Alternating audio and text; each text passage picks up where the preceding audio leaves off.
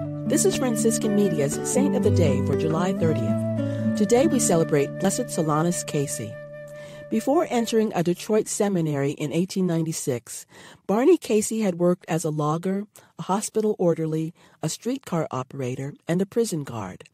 Those experiences put him in touch with ordinary, everyday people struggling with life's ups and downs.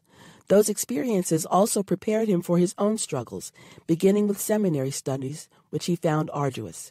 He was finally ordained a Capuchin Franciscan priest, but on the condition that he not hear confessions or preach formal doctrinal sermons. Undaunted, Father Solanus went about doing the priestly duties permitted him.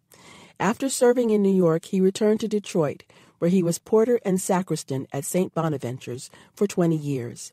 His Wednesday services for the sick attracted huge crowds. Hundreds came to see him daily and receive his blessing or his guidance.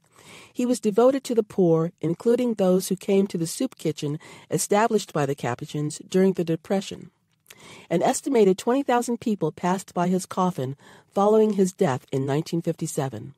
Father Solanus was beatified in Detroit in 2017. There's more about the saints along with inspiration and Catholic resources at our website, saintoftheday.org.